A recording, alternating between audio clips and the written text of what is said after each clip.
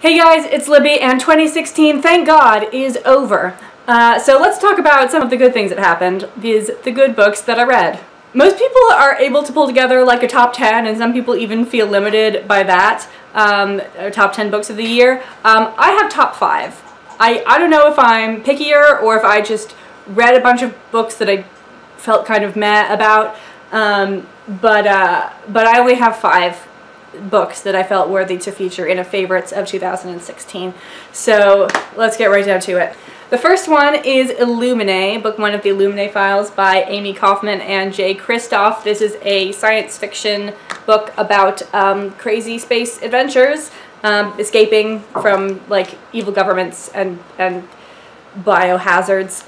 Um, and it's told in a sort of non-traditional narrative format. Oh, it was so cool. It was so exciting. I read it in one sitting, which was actually a bad idea for like my heart rate.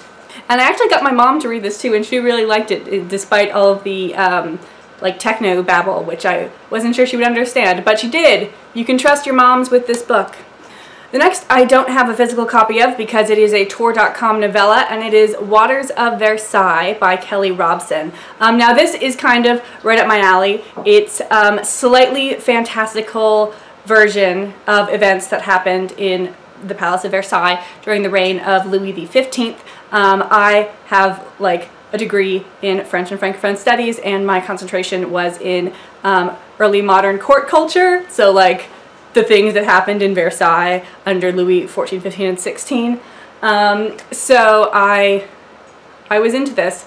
Um, and it's, it's sort of about the, the first flush toilets um, that were being installed. Um, eh, but there's like also a mermaid. Side note, is there like a subgenre of mermaids at Versailles that I didn't know about? Because I I feel like I've heard this premise in several places now. There's Waters of Versailles, The Moon and the Sun by Vonda McIntyre, and then um, The Passion by Jeanette Winterson. it's not quite Mermaids at Versailles, but it's Webbed-Footed Girl um, and Napoleon. So I, I actually looked up to like see if there was actually some rumor of like a mermaid at Versailles. I couldn't find anything. Um, but if you know, let me know. Um, but so in addition to all of my um, nerding out about my area of expertise, um, this book was about like dad feels, which I feel like is not an emotion that gets explored a lot. Like uh, uh, every book ever is about romance, and then if you're lucky, you'll get like a friend relationship, and I've read a couple sibling relationships, but you don't get a lot of parental relationships. Um, so I, I enjoyed this novella for that reason. My third favorite book of 2016, and yes, I am doing these in order. I was I was able to rank them. Um, it is Salt to the Sea by Ruta Sepetys.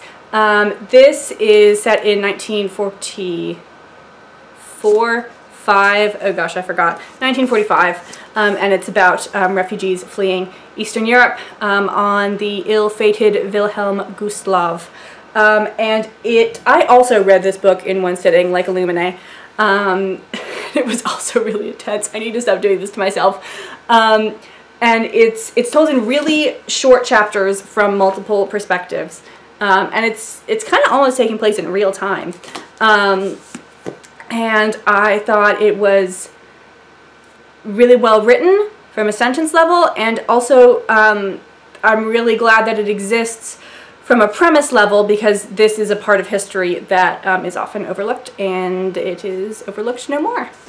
The next book is from way back early in the year. I think I read this in like January um, and it is S by J.J. Abrams and Doug Dorst, which is a sort of complication of the, the, the fictional novel Ship of Theseus by V.M. Straka.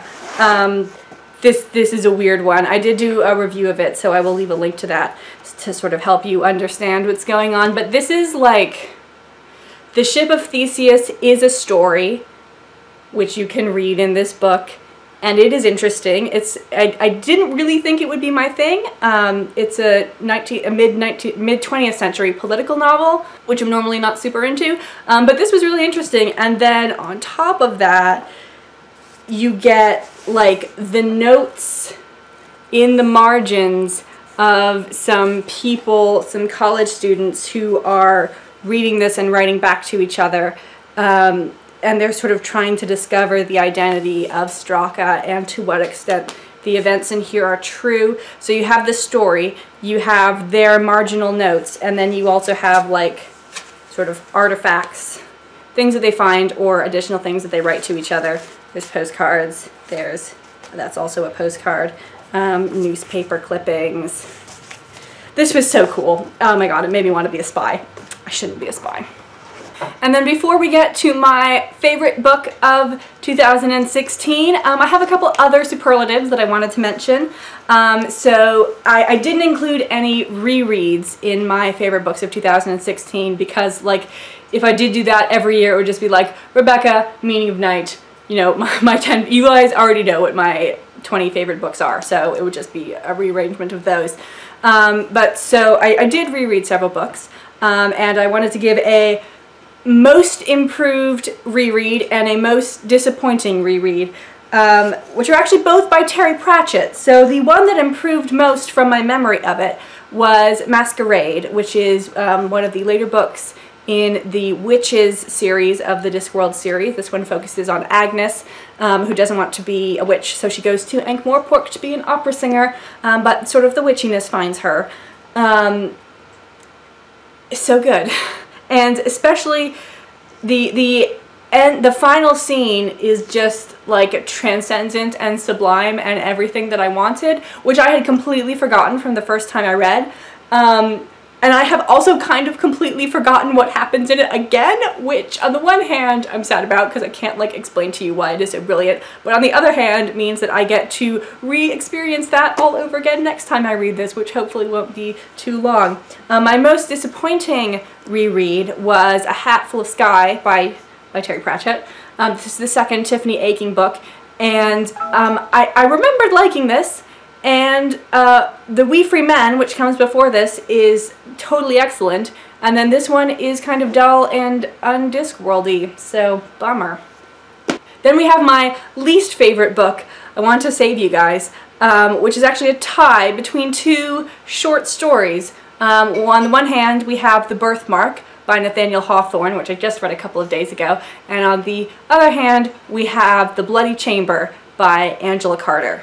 Both of these are like just about about the worst relationships between men and women.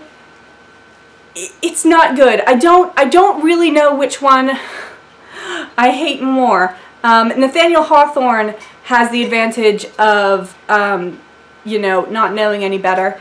Um, his his the female character in the birthmark is not great, um, but but she's not particularly different than a character you might find in a Dickens novel or other novels of the era. Um, Angela Carter was writing in the 20th century, the late 20th century. She should know better. Um, on the other hand, I was not able to finish it. I was not able to finish The Bloody Chamber. It It is the first book that ever made me, like, nauseated.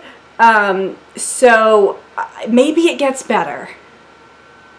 But I can't. So just avoid those. And then my most what the fuck book is The Gargoyle by Andrew Davidson. This book, what the fuck. And then my favorite book of 2016, it took a lot for me to get through this, but eventually I did. It is the 900 page The Crimson Petal and the White by Michel Faber. Oh my god, so good. And you know, now like, I don't know why I hadn't been doing this before, but Michel Faber definitely deserves to be listed among my favorite authors, which is really exciting because it means on my list of favorite authors there are now two people who are alive.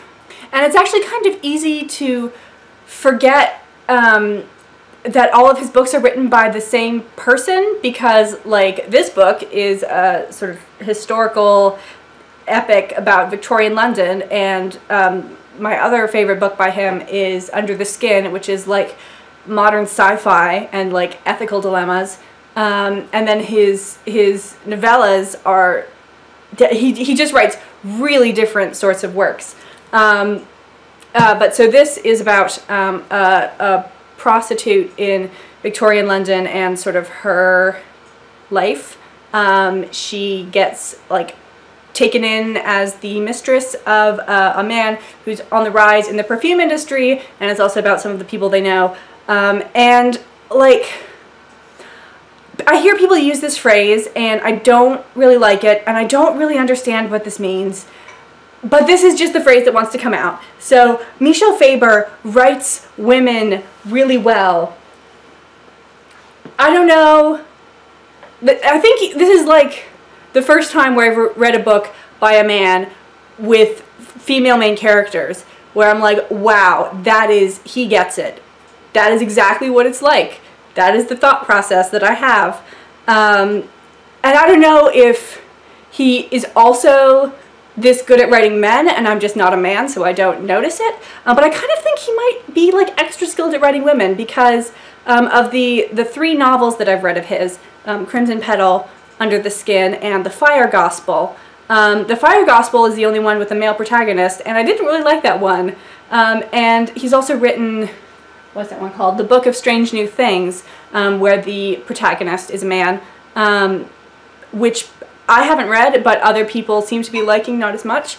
Um, so if you want to get into Michel Faber, start with uh, start with the stories about ladies. Okay guys, thank you very much for watching, and if you have posted a best books of 2016, either a vlog or a blog, um, post it in the comments and I would love to check it out. Thank you!